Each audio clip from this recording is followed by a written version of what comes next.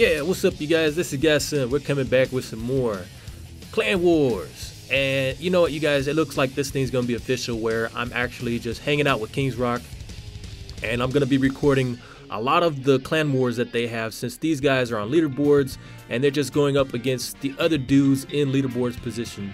So this is a chance for you guys to check out a lot of the top dogs up there, see how they raid, new techniques, and maybe get some new strategies for your own uh, attacks. So uh, they started up another war with Kings Rock 2, and these guys are actually in, I believe, the top 15 up there with Kings Rock. So these guys are no slouches. Now, I did come in a little late. This war had already been starting, but it's not over yet. Let's go ahead and check out and see what they're doing. I'm gonna go ahead and cover this thing and let's see if we can actually do a live replay right now. This is actually live. Let's go ahead and check out and see what they're doing. Okay, first up we have Aztec from Kings Rock versus Racing Jake from Kings Rock 2. And he is pulling out all of the clan castle with a hog rider, just like I expected. And there was actually a lot of archers in there. And the reason why I believe they're doing that is because uh, the more archers you have in there, the harder it is to pull them all out with uh, wall breakers or hog riders. But he was able to get all of them out, and there was a witch hiding in the back. So let's see if he can bring up to the corner and take them all out.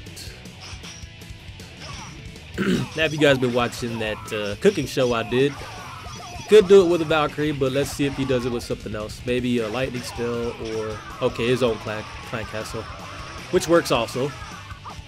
And I'm thinking the reason why he's doing this is because he wants to do probably a hog rider attack. Usually when they do this, that's what the, oh, yep. Okay, he's going in. Hog riders, I knew it. All right. And dang, there's a mega bar, no. Whoa, they all survived it. If that was me, I'd be dead. so close, man, so close.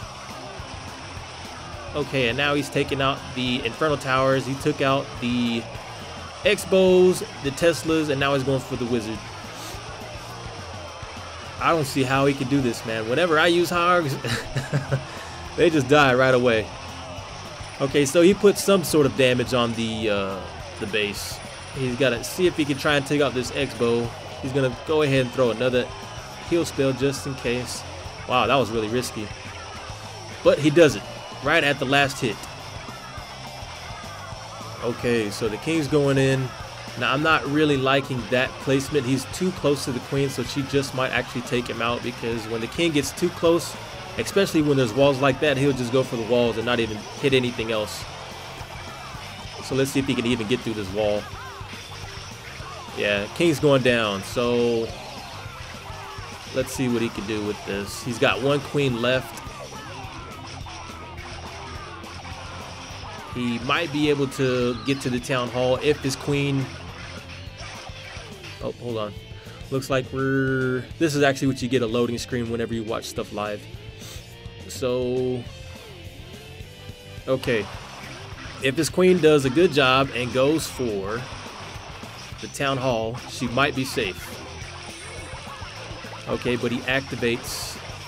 He activates the hidden cloak, and I'm guessing it's because he's probably out of time. If she can get that without getting... Ah, she's going for the wall.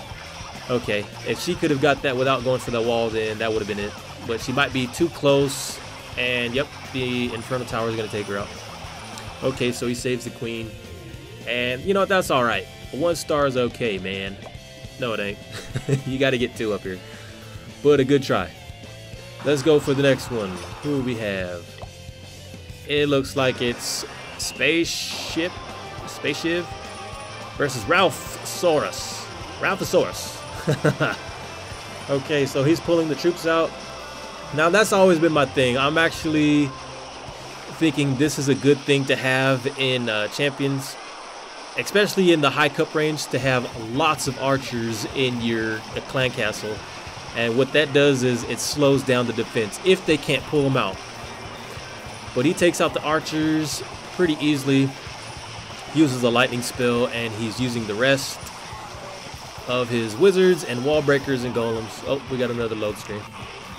But he's doing the classical ground attack where he's using lots of uh, golems, wizards, and wall breakers. I would consider that the go wipe still.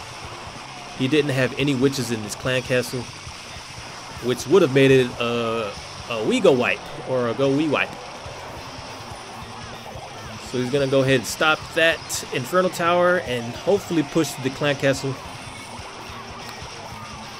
Alright, their king is taken out. Enemy king is down. Clan castle is gone. And now the town hall is left. Let's see if he can get... Oh, he got it.